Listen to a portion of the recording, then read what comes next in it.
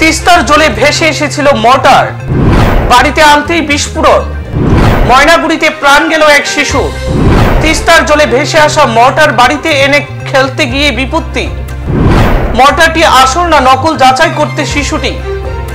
কুড়াল দিয়ে কোপ দিলেই ঘটে অঘটন। ভয়াবহ মর্টার বিস্ফোরণে হত শিশু। কলকাতার ময়নাগুড়ির চাপাডাঙ্গা পোস্ট অফিসের কাছে এই বিস্ফোরণটি হয়েছে বলে জানতে পারা গিয়েছে। সূত্রের খবর, ঘটনায় মৃত্যু হয়েছে এক শিশুর। আহত হয়েছে আরও বেশ কয়েকজন। প্রসঙ্গত, একদিন আগেই তিস্তায় হরপ্পা বানে ভয়ঙ্কর বিপর্যয়ের মুখে পড়েছিল উত্তরবঙ্গ। সেই রেশ এখনও কাটেনি। বিধ্বস্ত হয়েছে সিকিম থেকে বাংলার বিস্তীর্ণ এলাকা। সূত্রের খবর, তিস্তার জলে ভেসে আসা মর্টার বাড়িতে এনেছিল এক ব্যক্তি।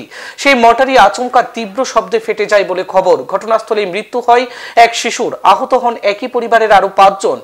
ঘটনায় ব্যাপক উত্তেজনা ছড়িয়েছে এলাকায়। খবর গিয়েছে পুলিশে। হতভাগ্য শিশুর নাম আইনুর আলম, বয়স সাত বছর। ঘটনাটি ঘটেছে মালবাজার মহকুমার ক্রান্তি পুলিশ ফাঁড়ির অন্তর্গত চাপাডাঙ্গা গ্রাম পঞ্চায়েত এলাকায়। মৃত্যুর খবর চাউর হতেই চাপা উত্তেজনা সৃষ্টি হয়েছে এলাকায়।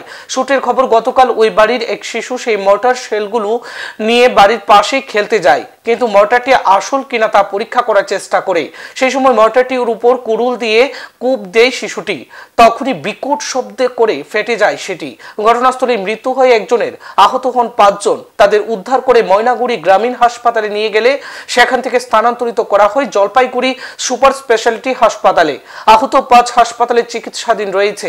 উল্লেখ্য তিস্তার ঠেলায় ভাসছে কলকাতার উত্তরবঙ্গ সহ সিকিমের একাংশ। হতচকিত হরপ্পা বানে সিকিমের একটি সেনা ছাউনি ভাসিয়ে নিয়েছে। এখনও নিখোঁজ রয়েছে ষোলো জন সেনা সদস্য।